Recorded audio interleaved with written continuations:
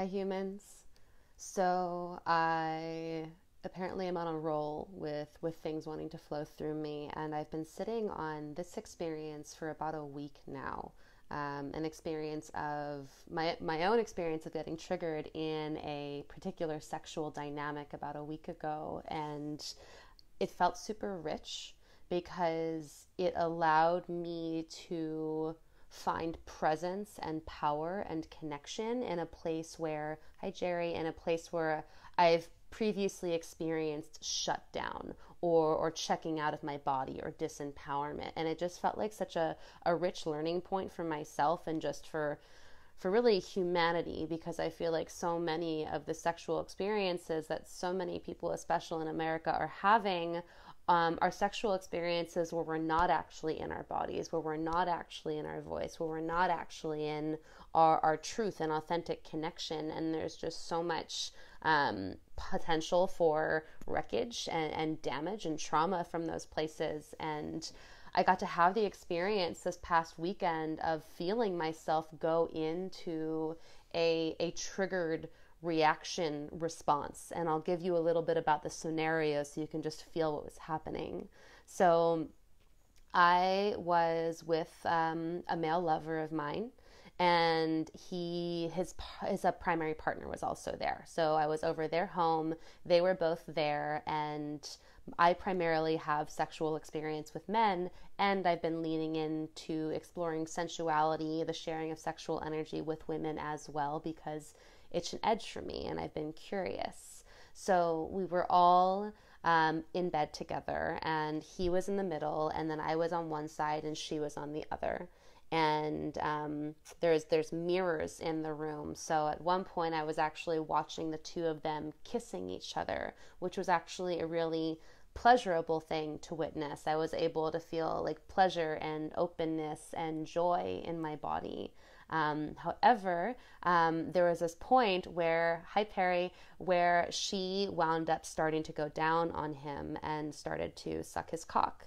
And I was witnessing this. I was on the other side. I was just being present.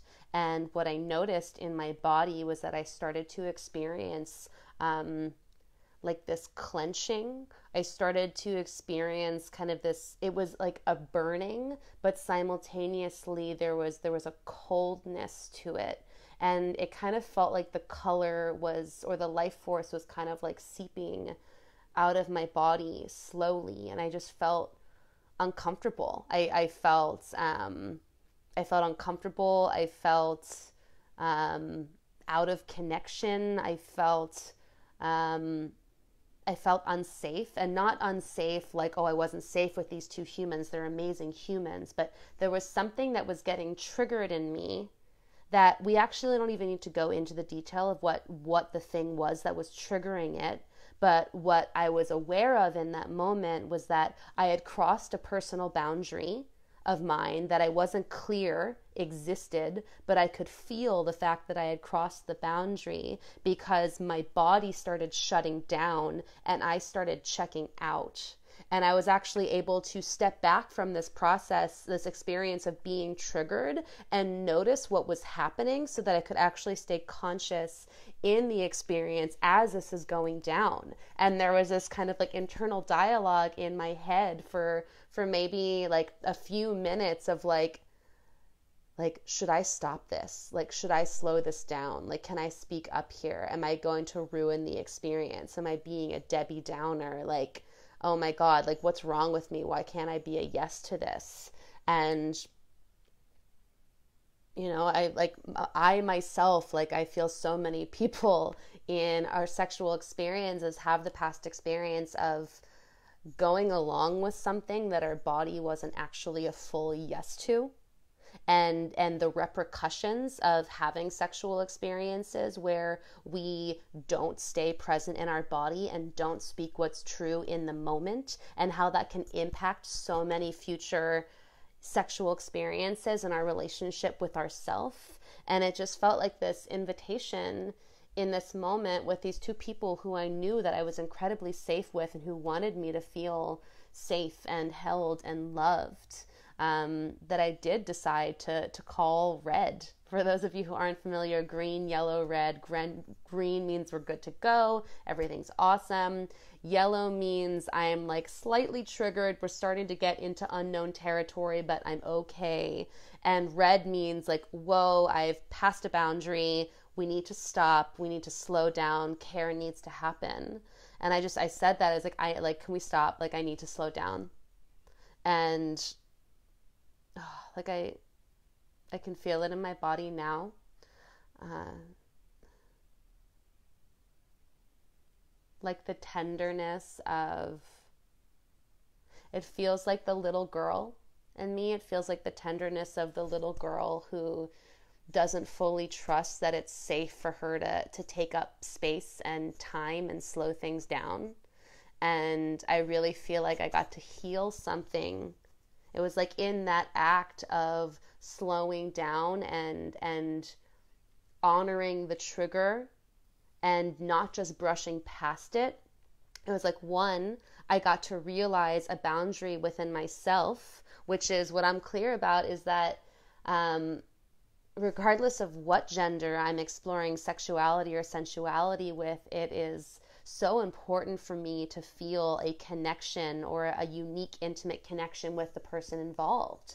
And what I have experienced, because I've played with and connected with several couples in this scenario where I I am a lover of the man and then he has a primary partner and we both play individually and separately where I've um, wanted to rush the intimacy with the woman or felt like I've needed to rush the intimacy with the woman as a way to create safety because of the fear that the the female lover might feel threatened by my relationship with her partner or that she might judge me. Like there's it was like the triggering of the the old fear that I'm not safe with women. So I really got to be present to that trigger. And because I didn't brush past it, and because all of my sexual and sensual relationships with people right now are with people who prioritize the connection and prioritize the slowing down. There's not an agenda. I'm not I'm not being a Debbie Downer if I need to slow down. I I got to learn something about myself around what am I yes and what am I no to in intimate and sexual relationships. I got to clarify the containers that I want to create when I am dating men who are also in partnership with other women so that my nervous system can actually um, soften and relax and, and open because I feel more safe that I don't need to be rushed into a three way dynamic, which is just so many dynamics to handle all at once. Um, and it just felt important to share this. I, for multiple reasons, and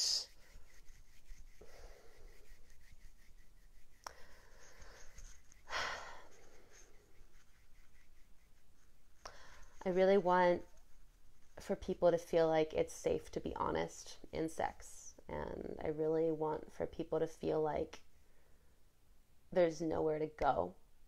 Like that's been one of the most powerful pieces for me is realizing that there's not actually anywhere to go in sex and that like yes, pleasure and orgasm and climax are fun parts of the experience, but that really sex is a place to remove the masks that we wear in society and let ourselves be deeply seen in in our vulnerability and really connect with the, the subtlety of intimacy, that there's so much richness to, to be explored. There's so much intimacy to be explored in these spaces where we take our clothes off with another person, that physical penetration of a cock in a pussy or fingers in a pussy doesn't even need to be part of the experience to have a, a deeply meaningful and significant sexual experience.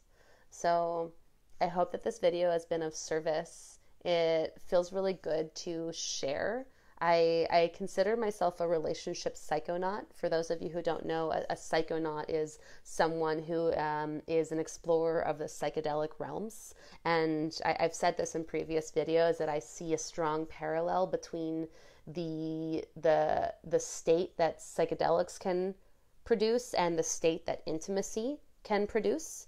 Um, so I've definitely found myself in some trippy and mind altering and expansive experiences through my willingness to drop into these depths of of raw intimacy and raw connection and it feels good to dive in and bring them up to the surface and share with you so I hope this was of service. Uh, feel free to write questions in the comments below or other topics that you would be interested in, in my speaking to because I have a lot of rich experience. I have a lot of things to share about.